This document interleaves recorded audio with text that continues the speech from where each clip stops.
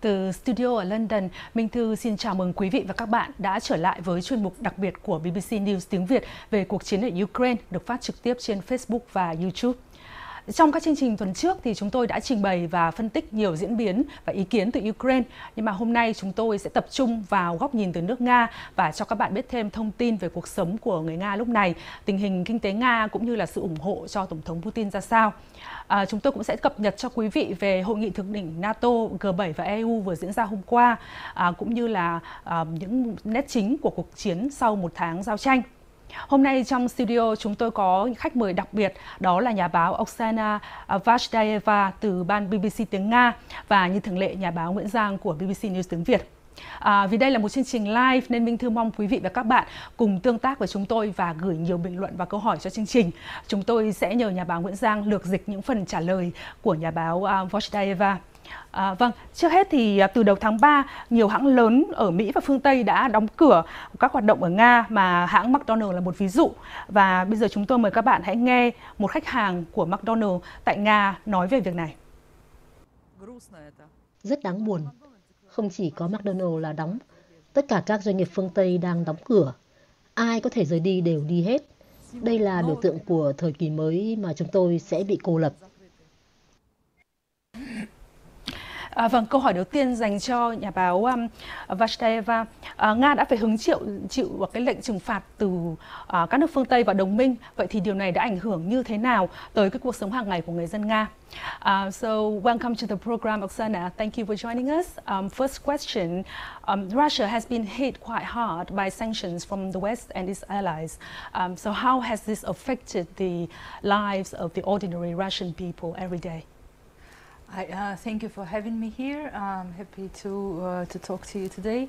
Um, what about you know the, um, there is a feeling that everyone is uh, froze waiting of what is going to happen uh, in the country because uh, we we don't see we didn't see all the effect of sanctions yet because Russia and uh, shops and stores and supermarkets and uh, uh, enterprises and corporates and firms, they had some kind of uh, buffer, you know, safety net. Mm. And it takes some time to this net to dry out. And actually, uh, when we will see what uh, what effect sanctions, ha sanctions has on the economy and everyday life. Và tôi xin phép được dịch nhanh những câu của nhà báo Oksana Vashtaeva trả lời các bạn. Thế người Nga thực ra vẫn đang chờ đến cái giai đoạn mà thực sự những cái tác động xấu của cấm vận phương Tây nói thẳng là đánh vào họ bởi vì như nhà báo Oksana có nói thì là các cửa hàng ở Nga chẳng hạn vẫn có những một số hàng hóa dự trữ gọi là để ở cái mức độ an toàn đấy thế nhưng dần dần ờ, cái hàng những hàng hóa này sẽ mất đi và họ sẽ phải đối mặt với một cái thực tế là rất nhiều nơi là rất khó khăn không còn gì nữa. But uh, still already we can say that uh, the, there was uh, already massive consequences. First, uh, people cannot get dollars from banks, and not just dollars, even rubles. You have to you have to apply for taking money from your account for Thế several cái dấu days. hiệu đầu tiên như nhà báo ờ, người Nga đã nói thì là người dân Nga đã cảm thấy ngay thứ nhất ấy, là bạn không thể nào rút được tiền bằng đô la và bây giờ cả bằng tiền tiền uh, rúp của Nga ra khỏi ngân hàng nữa. It's very difficult to get out of the country. Not because it's prohibited to get out, but uh, uh, tickets uh, for the, for the flights jumped. You know, prices jumped, just rocketed, and uh, I, I, can tell you the price from uh, inner flight from in Russia from my home city to Moscow, which usually cost I will say in, in, in Russian currency, but you will see the the proportion. In Russian currency, in rubles, it was seven to ten thousand rubles flight from my home city to Moscow. Now it's 60,000 rubles. Wow. Và nhà báo so có like... nói là ngay lập tức có thể cho các bạn thấy một cái ví dụ tức là ngay cả uh, những chuyến bay nội địa ở Nga giá đã đắt như thế nào tức là từ thành phố quê hương của cô ấy là Tomsk đến Moscow trước đây thì giá là 7 đến 10 nghìn rúp bây giờ lên đến 60 nghìn và người Nga không chỉ là không bị không được phép xuất cảnh mà gần như khó không thể mua vé để bay khỏi Nga được. And uh, and there are less and less uh, airlines who are actually flying in and out of Russia because of uh, the uh, sanctions against the um, uh, the, uh, the, the, the, details for airplanes, for fixing airplanes. The insurance, international insurance companies does not give insurance for flying over the uh, Russian uh, sky and Russian territory. So, so is, is, the, is the main thing now. And the banks, and of course the um, lots of producers of food in Russia, they, they are holding their production, so they stopped for a while or they kind of frozen some part of it um, because partly because they had some uh, some something imported from the west. Vâng, thêm một ý kiến nữa từ nhà báo Oksana Vashneva tức là rất khó bay khỏi Nga bây giờ. Thứ nhất là vì rất nhiều hãng hàng không đã không bay đến và không bay đi khỏi Nga nữa. Một phần là vì họ không có không thể mua được bảo hiểm. Thứ hai là các cái bộ phận thay thế cho ờ, các cái phi cơ ấy cũng đã không có hoặc là sẽ không có. Và một điều nữa cũng quan trọng hơn tức là ừ, ờ, giá thực phẩm sẽ tăng ở chỗ là vì thiếu hàng nhập khẩu. And the logistics, uh, you know, people cannot get parcels. people cannot send parcels and uh, also logistics for the shops and supermarkets and so everyone everything is now kind of got stalled mm. and like a frozen and no one understands where where will be the end what is the end game here and uh, uh what will happen in like even a week or two, not saying even a couple of months. So everyone is just frozen and waiting. Vâng, có một cái tình trạng là nhà báo nói là cái tình trạng bị gần như đóng băng ở mọi thứ. Ví dụ như người dân Nga không thể nào gửi được bưu kiện nữa. Đơn giản là không có không thể gửi được. Và thứ hai là người ta chờ đợi xem thậm chí là một tuần hai tuần tới nó sẽ còn đến mức độ nào. Không chưa nói là đến những tháng sau.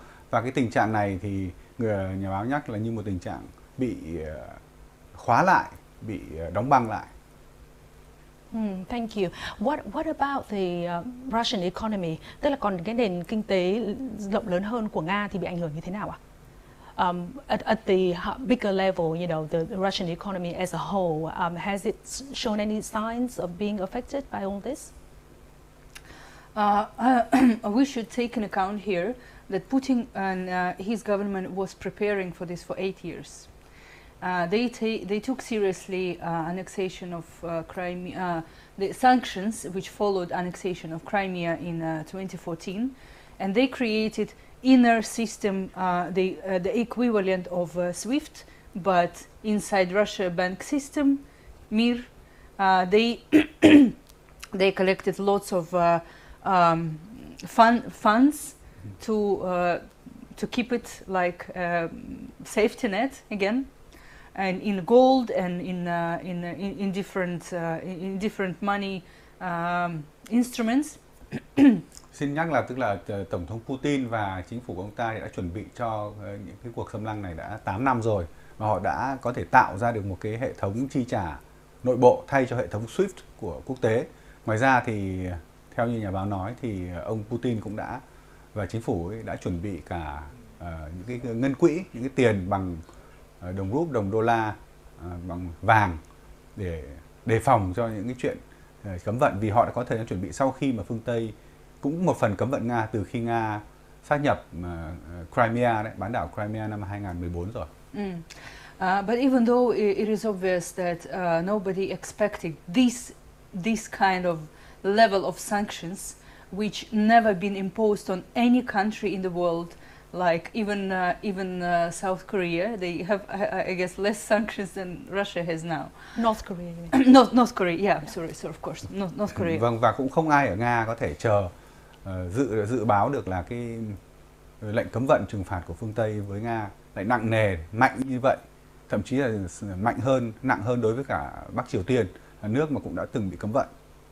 So uh, and and now uh, it's it's really even even the economists, even the experts, they are uh, kind of uh, um, it's, it's hard even for them to to make a prognosis what's what's going to happen. But uh, the, the, the major trend in in this expert thought of how what the effect would be uh, for the Russian economy is that it's going to rocket down with a very hard landing, and uh, uh, the um, the overall product of the country will be lost like in uh, 10 percent at least, and it, it, will be uh, years of stagnation for, for Russian economy. Even if everything uh, ends tomorrow, then it will take a long time for the sanctions to be lifted because it's a whole process. It needs to go through the Congress, through the Parliament of the EU and uh, other countries who, who did it as well. So it's a process, and even if everything ended tomorrow, it will be it take long to get all this back and for the companies to trust Russia again, mm. investors to trust Russia again, and come come to the market, come to come to invest in Russia again. So it's a long process, and yeah, uh, and economies they're expecting several long many years of stagnation. Vâng và nhà báo người Nga có nói là ngay cả các cái chuyên gia kinh tế ở Nga thì cũng không thể nào uh, viết được cái dự báo gì cả. Đơn giản là kể cả như ngày mai các lệnh cấm vận này được uh, gỡ bỏ thì nó được phải cần thời gian để thông qua uh, những cái biện pháp khác nhau để gỡ bỏ cấm vận chẳng hạn ở nghị viện ở châu Âu, ở Hoa Kỳ ở các nơi. Vì thế thì nó sẽ mất rất nhiều thời gian để các công ty Nga, Ờ, các công ty quốc tế có thể tin tưởng vào Nga lần nữa. Ngoài ra thì có thể nói là rất phải mất nhiều năm. Người ta nói có thể mất nhiều năm và nền kinh tế Nga bây giờ GDP năm nay có thể sụt giảm ngay lập tức là 10% và có thể mất nhiều năm mới trở lại được bình thường nếu kể cả như là chúng ta bỏ cấm vận ờ, chống lại nước Nga ngay vào ngày mai. Thank you so much, Osana. I'm going to ask you next about um, the support for Putin in Russia. But first of all, I want um, to show the audience um, some um, clips, short clips uh, of the Russian people who support Putin. À, vâng thưa các bạn, Minh Thư sẽ tiếp tục hỏi nhà báo um, Oksana à, của BBC tiếng Nga à, về cái sự ủng hộ mà ông Putin có được ở nước Nga. À, nhưng mà trước đó thì Minh Thư muốn chuyển đến ý kiến của một số người à, ủng hộ Tổng thống Putin. À, biên tập viên Steve Rosenberg của BBC thường trú tại à, Moscow đấy ạ, có gặp và hỏi chuyện nhiều người dân Nga, trong đó có những người ủng hộ ông Putin và ông cũng có mặt tại một buổi meeting rất là lớn hồi đầu tuần nơi mà ông Putin kêu gọi sự ủng hộ của dân chúng. À, chúng ta sẽ cùng nghe những người này nói gì. Chúng tôi đang làm điều đúng đắn. NATO muốn mở rộng sang Ukraine ngay sát nước chúng tôi và họ có vũ khí hạt nhân. Ông Putin ngăn chặn họ là rất tốt. Tôi là một người yêu nước. Nếu chính phủ chúng tôi chiến đấu ở Ukraine thì ắt hẳn điều đó là cần thiết. Chúng tôi đã hỏi chuyện khá nhiều người ở đây. Họ nói họ bị chủ cơ quan bắt đi hoặc được hứa sẽ cho nghỉ làm nếu họ đến đây, nhưng không ai dám nói trước camera. À, vâng, vậy thì à, Tổng thống Putin đã nhận được sự ủng hộ tới mức nào ở Nga? So Oksana, what level of support does President Putin receive in Russia? Uh, again, it's hard to say precisely the accurate uh, data because uh, uh, basically there is no one to actually measure the accurate data in Russia for now because uh, there is a sociological center called FTIOM, it's all, all Russia uh, Center of Society of, of Opinion. but this center is considered to be pro-Kremlin and they used to they, they tend to show uh, usually results which are more pleasant for the authorities than they are uh, in, in the reality. Vâng, nhà báo Nga có nói là rất khó có thể tin tưởng được các cái uh, gọi là điều tra dư luận tại Nga. Ví dụ như là có một cái trung tâm rất là lớn, uh, trung tâm điều tra dư luận trên toàn nước Nga gọi là SHOM thì đó, thì họ thường hỏi những người nêu ý kiến vừa tai với điện Kremlin. Và ừ. trong cái trường hợp này là sự ủng hộ của ông Putin được họ ghi nhận nhiều hơn. Mm. And uh, uh, the, the numbers uh, they show is uh, about 70% supporting the policy of uh, Putin and uh, invasion for the Ukraine for now. Uh, but again, it's a question of how they were asked, what exactly they formulated, how they formulated the question exactly. So there might be uh, things around this, you know, might be different discussions, but yes, uh, it's obvious that uh, uh, the encouragement of Putin policy and invasion is high in Russia. And um, of course, as you know, there is a strong propaganda, strong state propaganda in Russia. Uh, and many people, uh, they don't, uh, uh, they don't go for internet, they, they, don't, they don't check any alternative sources of information. And independent media in Russia was suppressed for a long time. They don't exist almost now anymore. Vâng, nhà báo có nói là rằng là cái ờ, điều tra dư luận của trung tâm đó đó thì nêu ra con số là 70% người dân Nga ủng hộ chính sách cuộc xâm lăng của ông Putin ở bên ờ, Ukraine à, và tất nhiên là đây là cái vấn đề sai hay đúng về số liệu. Thế nhưng mà cũng có một thực tế như nhà báo nói tức là à, bộ máy tuyên truyền của nhà nước Nga rất là mạnh. Ví dụ đài báo chẳng hạn và họ rất nhiều người dân Nga không tìm uh, lên internet để tìm tin tức uh, các nguồn khác nhau. Họ tin vào những gì đài báo nhà nước nói về Ukraine. Can can the Russian people still access uh, social media and information outside of the state-controlled media. Vậy thì à, mình Minh muốn hỏi là người dân Nga có thể tiếp cận được những cái thông tin trên mạng xã hội ngoài những thông tin từ truyền thông chính thống của nhà nước Nga không ạ? Yes, actually, uh, some of them uh, they they can use VPN, uh, and uh, the uh, Russian uh, um, body uh, which is controlling the media space and internet, Roskomnadzor, they are banning every day some VPN services, but the new new new services appearing, and there are some ways of going over this, and some people still have uh, like I, I have in my Facebook I still have uh, my friends from uh, from Russia who can read me, who can comment and uh, um, Instagram I'm not sure but it's not the, that much of political uh, political space. It's more about Facebook and it's more about Telegram. They have access to Telegram. And uh, they can uh, using VPN, they can use they can see the information in the in, in the alternative or uh, foreign media in in the in the internet. Và nhà báo nói là người dân ở Nga có thể dùng những cái mạng gọi là vượt tường lửa đấy, là VPN đấy để xem những tin tức ở bên ngoài, có những cái mạng bên ngoài, à, chẳng hạn như như một số bạn của uh, nhà báo Oksana Vasleva ở bên Nga có thể vẫn liên lạc với bạn ấy bằng Facebook hay bằng Telegram để xem. Thế nhưng mà có một cơ quan gọi là cơ quan quản lý truyền thông của Nga, tức là Roskomnadzor thì thường ra những cái lệnh gọi là xóa những cái đường dây uh, hay là những cái uh, gọi là những cái uh, uh, dạng VPN khác nhau để người dân không thể tiếp cận được các nguồn ở bên ngoài. Um, yeah, and uh, if if we are talking about support, the real is it the, the, for, for me is the question, you know, is it real support or not? Mm. Like, is it support? Is, is it only support or is it fear? Uh, because I know people who uh, who do not support Putin, but they will never say it in public, and they probably will never say it being asked by pro-governmental uh, social uh, sociological institution, uh, because uh, they have they have a company, they have dozens or hundreds of people working in this company. Mm -hmm. They need to keep them. They need to keep alive, like a, afloat. Uh, these uh, workers, their families, they are responsible for that. So they they don't support it, but they have no other choice. So Rồi, they they prefer to stay put and quiet. Sure. Là có nhiều người Nga thì tức là có thể không ủng hộ tổng thống Putin nhưng mà vì họ sợ, họ không thể nói thật, chứ công chúng cũng chắc chắn không trả lời các kênh đài báo của nhà nước một cách thành thật ở chỗ là ví dụ như có những người là chủ công ty tuyển hàng trăm nhân viên họ phải chăm lo cho những nhân viên này phải chăm lo cho cuộc sống ờ, công việc của những người đó cũng như của gia đình của họ vì thế cho nên cái chuyện mà mong đợi người ta sợ hãi mà lại nói thật về chuyện ủng hộ ông Putin hay không thì đấy là điều rất là uh, rất là khó. Thank you, Sana. What about the Russians outside of Russia? Um, what do you think about what's going on in Ukraine? And I've heard that some, quite a few Russians have actually fled the country. Why do they, they do it and, and where do they go?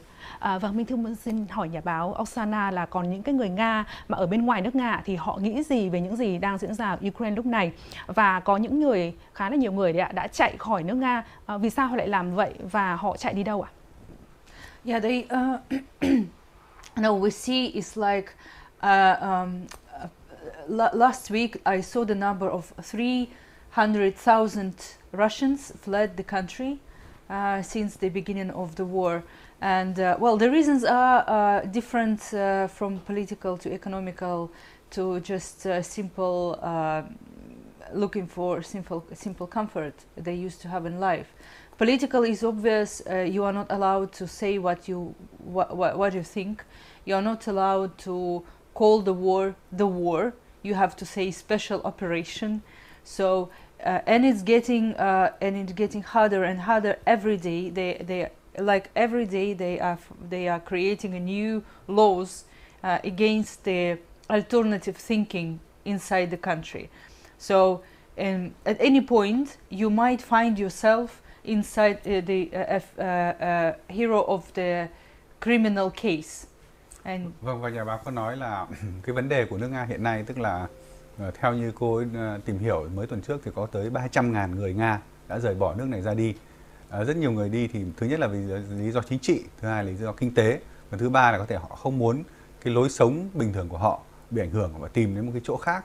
À, có thể có những người ấy, khi ra đi như thế thì họ cũng phải suy tính đến cái tình trạng ở trong nước khi mà họ nói ra điều gì có thể ngày hôm sau họ đã bị nêu trong danh sách là tội phạm à, theo những cái luật mà nhà nước Nga đưa ra hàng ngày để ngăn chặn những cái tiếng nói à, không phải phản kháng tiếng nói trái chiều so với nhà nước. Yeah, and people being uh, uh, being investigated even for likes on Facebook and for just standing silently at the pro near the protest, like and they call it silent support of the protest against the war. So any any any of your move, any of your word, any of your action might lead to uh, to the prison. It's the first thing. Second thing is uh, uh, economical, obviously, as uh, uh, salaries and uh, ways for development, for self and professional development, and for young educated people. You know, they they need to have you know light in the end of tunnel something for hoping for their self-realization for their development and professional development and this kind of thing is not uh, is not possible in the in the modern world without the connections of without international connections. Vâng và một số người Nga có thể bị điều tra chỉ vì những chuyện như là bấm thích like trên mạng xã hội hay là đứng quan sát im lặng một cái cuộc biểu tình tại vì ở đấy người ta có khái niệm tức là ủng hộ âm thầm cho biểu tình cũng có thể bị điều tra có thậm chí có những người đã bị bắt giữ. Thế nhưng mà cái lý do cô ấy nói là lý do kinh tế rất là quan trọng vì rất nhiều người nga họ rất là giới trẻ có học thức ấy, họ đã hoạt động quen trong một cái môi trường quốc tế được giao lưu được giao tiếp được ừ, tiếp cận những cái nguồn thông tin hay là công việc khác nhau. Thì bây giờ sợ ở lại nga thì cái chuyện này trở nên rất là khó khăn cho họ. Mm. and, and of course the, the overall disagreement with what uh, Russian authorities are doing and uh, uh, just pe people don't want uh, be associated with them. And as, as an act of disagreement they are leaving the country with their skills with their brains with their potential. So to put their efforts somewhere else. Một trong lý do nữa tức là rất nhiều người Nga mà cô ấy nói là không muốn gọi là bị liên quan hay là bị coi là đứng cùng phía với chính quyền của ông Putin vì thế họ đã đem cái tài trí của họ đem cái khả năng đem cả uh, vốn của họ để sống ở nơi khác và như thế thì bằng cái hành động tức là không muốn liên quan không muốn dính líu đến chính phủ của Putin họ đã rời bỏ nước Nga Thank you, Elsana. That was uh, very interesting. Um, now, I just like to convey one question from our audience, if that's okay. Um, sure. They are asking, what about the opposi opposition um, party in Russia? Have they got any moves or any voices to protest against Putin's invasion of Ukraine. À, bây giờ Minh Thư xin được chuyển tới nhà báo Oksana một câu hỏi của bạn uh, khán thính giả đang theo dõi. Bạn Nguyễn Trung hỏi là lực lượng đối lập ở Nga có tiếng nói gì để chống lại cuộc xâm lăng của Putin vào Ukraine hay không? Please. Uh, there is no such a thing like an opposition party in Russia in our understanding, our like Western understanding of it.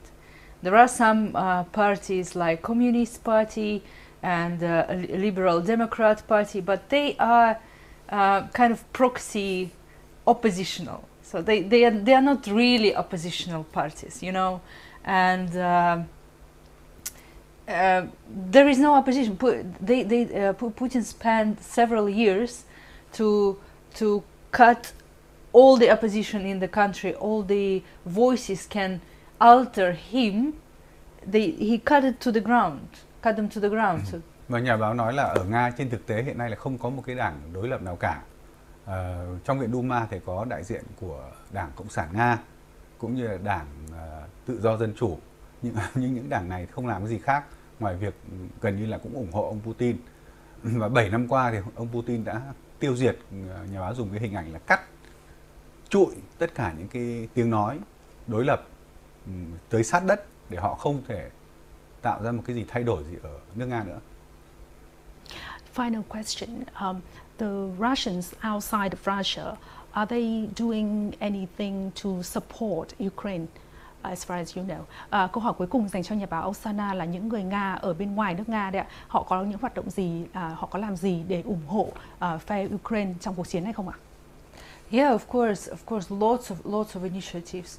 Uh, lots of people are um, uh, meeting uh, meeting refugees at the borders, at the train stations, uh, helping them to find families to stay with, helping them with the registrations, bringing food, bringing clothes, and uh, I like half of my friends on, of my Facebook friends whom I follow from different countries. They do. Everyone is doing something, and uh, some of them are working on the hotlines to help uh, uh, some uh, giving some medical support, like you know doctors giving consultations, online consultations. Those who can go to the border physically, they go to the border physically. Uh, those who can uh, organize this thing, they organize this online. So everyone is trying to uh, to help somehow. Yeah. Và con số người Most Nga ở nước ngoài mà đang giúp cho người tị nạn Ukraine theo nhà báo nói thì rất là đông. Ừ, có quá nửa số bạn trên Facebook của cô ấy ở nhiều nước khác nhau đều chung tay làm việc này. Ví dụ họ đến biên giới ở phía phía tây của Ba Lan chẳng hạn, các nước đó. Tôi được nghe cô nói một lần khác là để giúp Ờ, đón người tị nạn giúp họ đăng ký giấy tờ và đưa đến các nước khác nhưng có những người là bác sĩ nga thì đã uh, tổ chức ra những cái đường dây nóng ví dụ như là giải thích hay là hướng dẫn y tế miễn phí uh, trên mạng để cho những người người tị nạn Ukraine và đây là có rất nhiều cái sáng kiến khác nhau mà có thể không thể nào mà theo dõi hết được. Yeah, anything else you would like to share? Uh... Otherwise, yeah, thank you so much for your time today, Osana. I can talk about this for hours, you know, but I know the, the limits of the program. vâng, tôi có thể nói cả nhiều tiếng đồng hồ về chuyện này, các cô ấy nói, nhưng mà vì thời gian có hạn. Vâng, vì thời lượng có hạn cho nên chúng ta tạm chia tay với nhà báo Oksana của BBC News tiếng Nga ở đây. À, và xin cảm ơn anh Nguyễn Giang về phần à, lược dịch vừa rồi. À, thưa các bạn, các bạn đừng quên vào trang nhà của BBC News tiếng Việt là bbcvietnamese.com để theo dõi những tin tức, hình ảnh, bài vở mới nhất về cuộc chiến Ukraine cũng như là các nội dung khác. À, chúng tôi có rất là nhiều à, tin tức, bài vở được cập nhật hàng ngày. Các bạn nhớ đón theo dõi. Và những bạn nào mà chưa ấn nút subscribe trên YouTube hoặc là nút follow trên Facebook thì à, xin hãy làm ngay à, để theo dõi các chương trình của chúng tôi. À, vâng, hôm à, hôm qua thì à, ba hội nghị à, thượng đỉnh khẩn cấp rất là quan trọng đã diễn ra. Đó là hội nghị thượng đỉnh của NATO của khối G7 cũng như là của khối EU và các nhà lãnh đạo thế giới thì đã thể hiện một cái mặt trận đoàn kết tại các hội nghị thượng đỉnh này. À, các bạn cùng nghe một số lời mà tổng thống Mỹ Biden đã phát biểu tại hội nghị của NATO.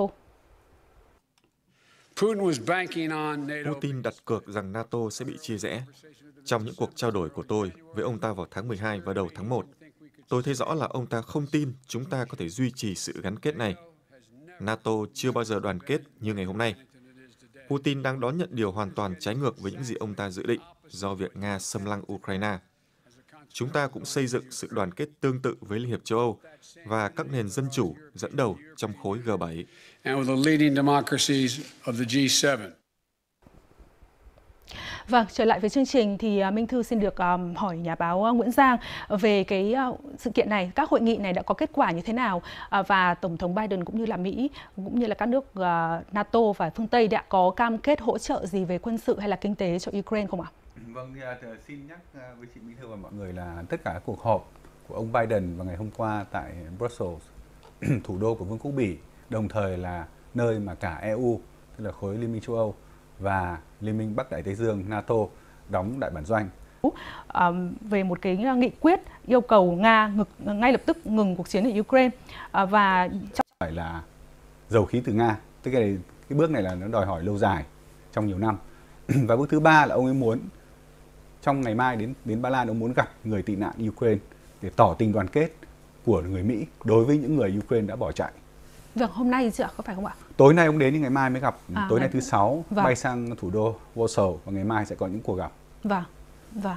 Um, như vậy là có có lẽ là cái cái thông điệp mà lớn nhất của cái chuyến đi thăm này chính là thể hiện cái sự đoàn kết của các nước phương Tây phải không ạ? Vâng. À, và để để đấy là một những cái thành công rất là lớn của vâng. tổng thống Putin tức là làm cho vâng khối NATO đột nhiên tìm thấy hướng đi vâng. và khiến cho châu Âu đột nhiên đoàn kết lại và thứ ba là tất cả những người dân ở các nước châu Âu gồm cả Anh quốc đã ngoài EU như chúng ta ở đây vâng. là đột nhiên cảm thấy là mình có nhu cầu thắt lưng buộc bụng chịu khó chịu khổ tiết kiệm năng lượng tiết kiệm xăng xe để làm sao không bị phụ thuộc vào gấu nga nữa thì đấy là ba thành công khá lớn của tổng thống Putin của tổng thống Putin không Putin vâng. Putin tức là thành, thành công theo cái nghĩa vâng.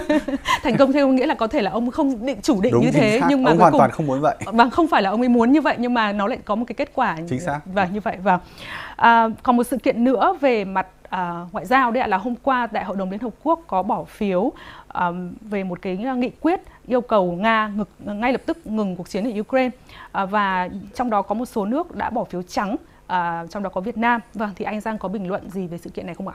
Thực ra sự kiện này cũng không được báo chí thế giới ghi nhận nhiều. Người ta chú ý là những cái vai trò các nước như là Ấn Độ tại sao lại giữ một vị thế trung lập có có lợi cho Nga. Vì Ấn Độ cũng bỏ phiếu giống như Việt Nam và Trung Quốc. Trung Quốc đương nhiên là người bạn đồng hành à, không giới hạn đối với à, nước Nga rồi.